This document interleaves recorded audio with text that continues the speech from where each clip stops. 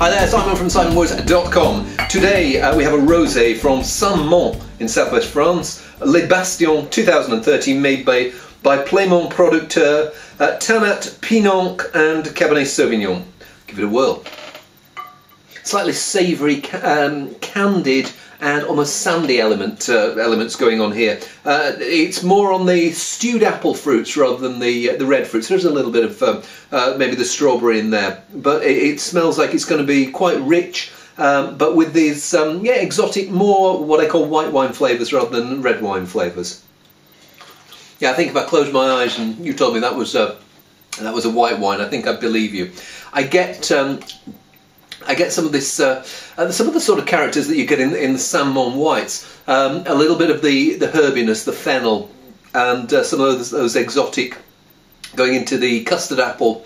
Uh, that type of character, not the, the, red fruit. I smelt a little bit of it. I have to say I don't taste a huge amount of it, uh, but it is a nice wine. It's just that um, it tastes more like a white wine than a pink wine, but um, pretty tasty as such. See you soon.